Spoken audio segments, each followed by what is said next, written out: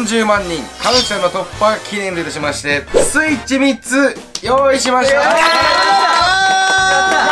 応募は、えーチャンネル登録してあることとか、まあ、いつも通りのはい。やつです。ご応募お待ちしております。お待ちしております。よろしく。おお願いします。よろしくそ嘘か本当かわからない。この世には明るみに出ることのない闇の噂が存在し続けている。あなたは信じきることができるだろうか。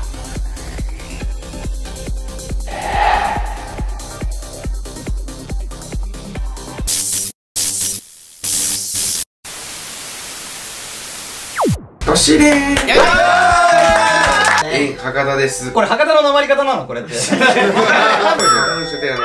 書店あのイントネーションが違うという。あそうまあということで昨日福岡ドームを終えまして感動の嵐でしたけど。その動画はねいろいろと大人のね事情を隔てましてお手伝い出そうかなとだってもうちょっと花粉症がきつすぎて大人の事情が女の事情。大人のね事情大人のね女の。大感動大傑作シリーズだと思います。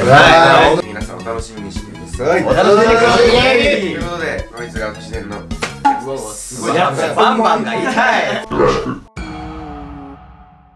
恐怖の脳外科病院。っていう話都市伝説が結構有名で。まあただこれを話す前にねちょっと一つ話しておきたいことがありまして。福岡ってね心霊スポットが非常に多いんですね。これなんでかっていうとまあいろいろあるんだけどまあ一番大きな理由としては戦争とか結構よく起きてた。まあ例えばさその中学の頃習ったでしょな。猛虎襲来みたいな。ここだめ猛虎ダメだね。辛いもの好きが襲来。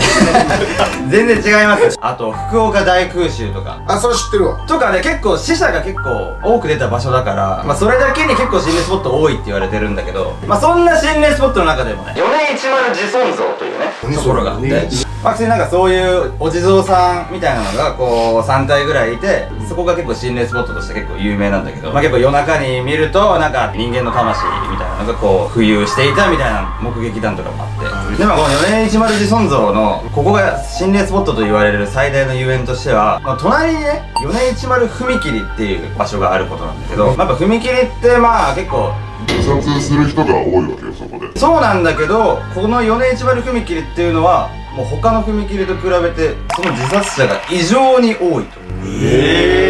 原因がわからない。だけどなぜか自殺者が多いみたいなね。というまあ話がありましてここでまあ、まあ、病院の話に戻りますけど。この病院っていうのはまあ福岡県のどこかにあると言われてる。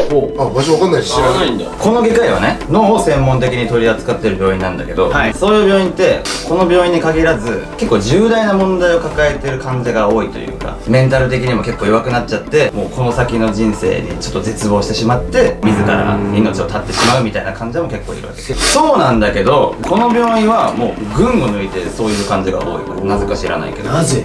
集まるんですそこに何がですか？メンタル T が弱い。メンタル T が弱い 岡にはそういっぱいあるでしょ？脳の病院って。そこだけに集まるってことでしょ？不思議だね。そういうわけではない。なんでそんな自殺してしまう人が多いのかっていうとこの病院には恐るべき事実が隠されていたんですね。ここの病院の医者は、そういう患者に向かって暴言を吐きまくっているっていう。医者が？暴言を吐きまくっているプラスまあある患者には「あなたの脳みそはもう治りません」と毎日毎日言ってで言われ続けた患者が自殺してしまったと。である患者はもうあなたの病気は良くなるどころか悪化していく一方です。このまま生きていても意味ありませんみたいな。最悪やん。そしてまたある患者には診断書をこうわざとそれよりも悪い風に作ってそれ見せてもう絶望に陥れるみたいな。何してんの？おかしくしてるやん逆にもう。でプラスこれらの騒動が起きてから委員長が謎の自殺を遂げたまあ、最初はこう医者全体がこれサイコパスの集団なのかみたいな話もあったんだけど、その医者もこう謎の自殺してしまったことから。呪われたんじゃないかみたいなだから結構この病院は呪われた病院として噂が出ちゃって、最終的に取り壊されたっていうはあそれの病院はどこかわかんない？その病院がどこかわからないんだけどちょ今からちょっとやりたいと思います。やりたいと思います病院をやりたいと思いますでねそのまあこの都市伝説っていうのは2008年にめっちゃ広まったわけ。あ最近そう割と最近に広まったわけ。この自殺した患者っていうのは共通点が1個あるんです。なんでしょう？その共通点っていうのがみんな踏切で自殺した。うわ来た来た来た来た来たで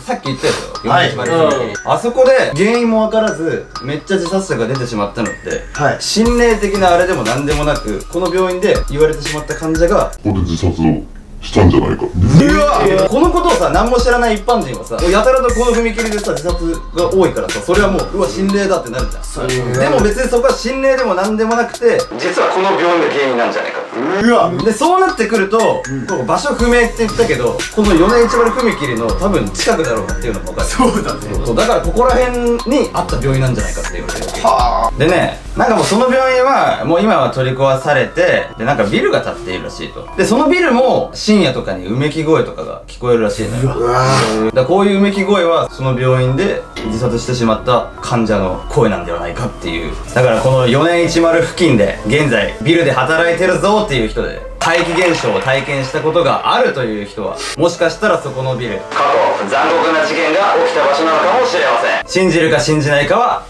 あなた次第です。喋りテクだんだん上がってるじゃん。ちゃんと伏線回収してる。でもやっぱねこれ以外にも真相多いっすね福岡。ね多いよね。我々もやっぱり来たいっすねまた。ね。やっぱり心霊系ですから。でも福岡が好きなんでやっぱり行くでしょ。それではこの動画面白いと思ったらチャンネル登録と高評価よろしくお願いします。それでは次の動画でお会いしましょう。